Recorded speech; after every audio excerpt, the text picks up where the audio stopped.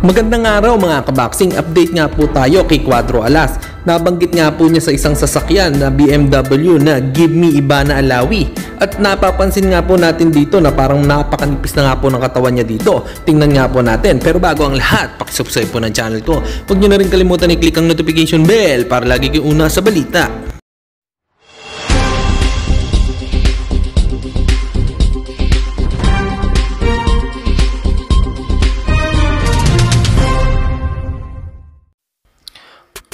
Kung mapapansin nga po natin mga kaboxing na parang nagre-relax na nga po dito si Quadro Alas. At tila wala na nga pong problema sa kanyang timbang na madami nga pong gumagawa ng istorya na malaki pa daw ito at hindi kayang magbawas ng timbang. At may nagsabi pa nga po na kailangan daw dito si Memo Heredia para makatulong sa kanya. At may nabasa pa nga po akong comment na baka daw matalo si Quadro Alas dahil daw nung laban niya noon ay nagkaroon din daw siya ng problema sa timbang at natalo ito kung sino ka man na nagsabi nito ay isa siguro ikaw sa basher niya.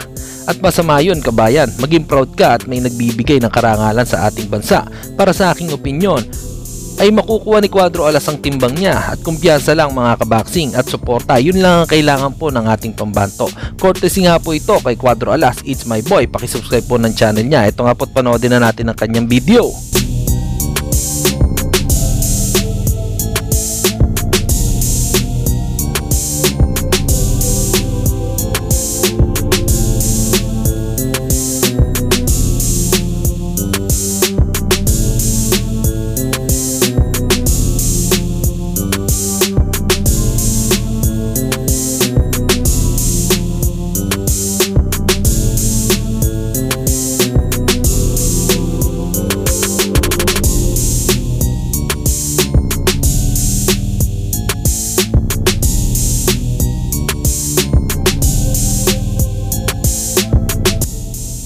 guys, ito yung bagong sasakyan ko.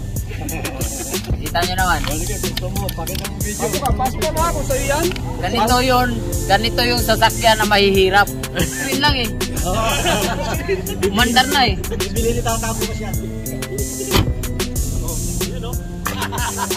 Alam mo ba yung paano mag-drive nito? Ah. Sasabihin mo lang, ah, uwi na ako sa bahay. English, English. English Ah, English, take me home, take me home. take me home! Oh, yeah, yeah. Either English o Bisaya, pwede yan. Ah, take me home. Dadalhin na ako. Hindi, pwede matutulog lang ako dito eh. mm. Di ba? Oo. Grabe, ito yun ang sasakyan na sa sasakyan to na mga mahihirap. Yun, tama ka dyan. Ayun. Tesla yun, di ba? Oo. Ah, Tesla nga. Bakit nakabili? Na bakit? Kailan? Ako, kabibili lang. Ito, yung ito ba yung sasakyan na is, isa? Pasok ka din, pasok ka din. Apa? Sa'yo yan? Sa kanya rin yan. Sa akin to! Sa kanya. Ah, Ito na. Kala mo. Ano dito eh, may buwis dito eh. Hmm, boy, sige. Sige nga, boy. BMW!